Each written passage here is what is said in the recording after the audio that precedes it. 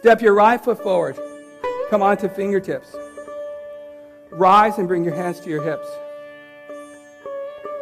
Settle your front knee to a square. Okay? And then as you settle your front knee to your square, stretch your arms out to the side and support somebody from their upper back. So you're just taking your arms out from the side, from the upper back, not the shoulders, right below the shoulder blades, right below the shoulder blades. Now, using your hand from the back of their body, lift them so they get lifted through their chest. Keep the lift of the chest, but bend your, bend your front knee deeper. Oh, oh, this middle row in the back, they're rocking it. The rest of you guys on holiday, man, bend it deeper. There you go. Stretch your back leg super strong. Jenny's rocking the house. Now lean back, lean back. Your partners are supporting you. Keep them lifted to the heart. Stretch your back leg. Good. Come back to center and step to plank pose. Nico and Danielle, you guys got a. I forgot to take that into account. Good. Downward facing dog. Press it all the way back. Step your left foot forward. Good. Rise and bring your hands to your hips. What's your name? Raphael. Can I say it with an accent? It sounds sexy. Raphael. Okay, Raphael. Okay. So as you settle into the front knee, make your back leg stronger and straighter. So, what I love about that pose is even if you're tired, you can't give out because you're holding it for somebody else, right? That's what community is, man. That's where our power comes from. Take your arms out, reach from behind the heart. There you go. And if you don't have anybody behind, stretch your arms out. Yeah. Touch fingers even. Yeah. Touch your fingers. Yeah. Now bend deeper into the front knee. Nice, Nico. Stretch your back leg stronger and curl back. Curl back. Now get your back leg straight, brother. Stretch it straight. Stretch it straight. There you go. Now curl around your friend's hand. Curl around them. That's it. Come back to center. Nice job. Step to plank pose. Good job. Downward facing dog. Step it all the way back.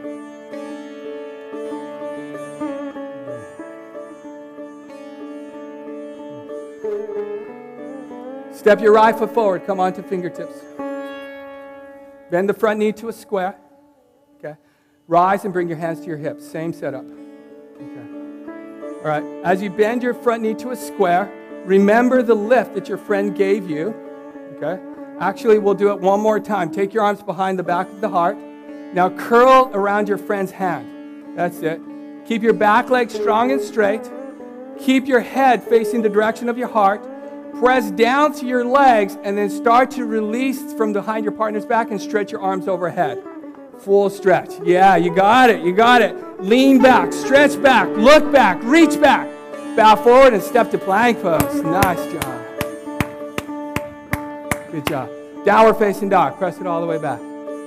Step your left foot forward. Come on to fingertips. Quickly check the spacing of your legs. If you lost your balance in that last pose, most likely your stance was too close side to side. Rise, bring your hands to your hips. Good, Raphael, hands on the hips, brother.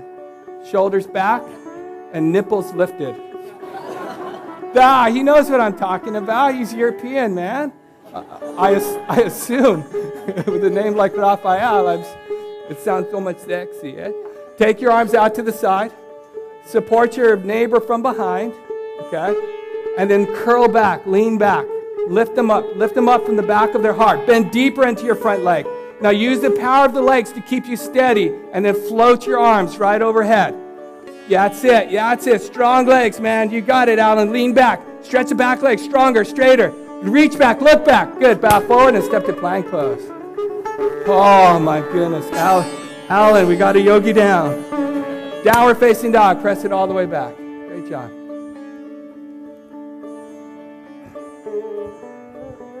Step your right foot forward. Spin your back foot flat. So the back foot, the toes are going to be pointing towards the door you came in through. Okay? Now, check that the bones of your legs are actually in the same line. So if you're on a tightrope, you would want them on the same exact line. So if you have, Tiffany, that line in your mat, you want both legs on the same line. Good. On your next inhale, rise and bring your right forearm onto your right thigh. Take your left hand to your hip and open up your chest towards the side. There you go.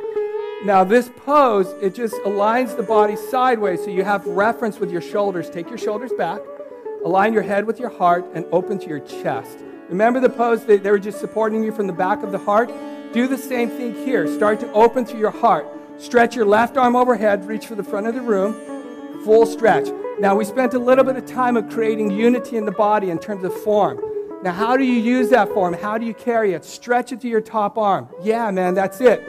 Use the power of your legs to lift you to warrior two, Virabhadrasana two. The upper body comes vertical, the arms stretch forward and back, and your upper body just settles into the middle. Take a glance down at your front knee and just make sure it's over the ankle. I know you're, you're starting to burn in your legs. I don't care, okay? I said, soften the eyes. There you go. Bring your right forearm onto the thigh. Take your left arm overhead. Reach for the front of the room, palm face down. Again, Nico, awesome. Danielle, beautiful hands, man. Awesome.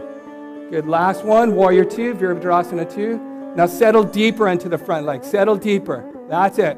That's it. You guys are skiers, man. You got tight asses. Strong, sorry, strong asses. Uh, strong legs. There it is. Good. Step to plank pose. Top of a push up. Sometimes I get stuck.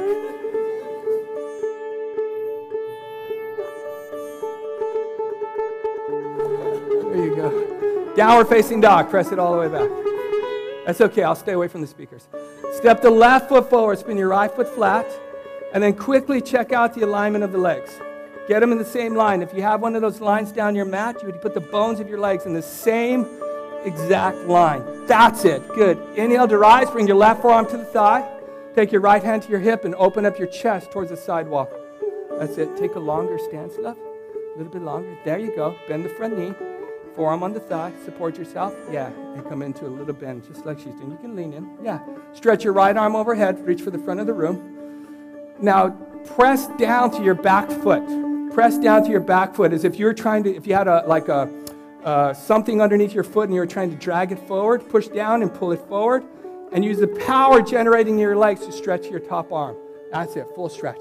Inhale to rise, Virabhadrasana 2, Warrior 2. Is it Chuck? Is it Chuck? Smile, dude. This is yoga, man. There you go. Keep your front knee over the ankle and just get your upper body vertical. Stretch out through the bones of the arms. Bring your left forearm to the left thigh. Stretch your right arm overhead. Full stretch, Chuck. Reach it, man. Reach it, reach it, reach it. Stretch to your legs, bro. Stretch your legs and stretch your arms. This push down, this is stretching. Good. Inhale to warrior two. Arms right in line with the shoulders. Beautiful smile. Good. And step to plank pose.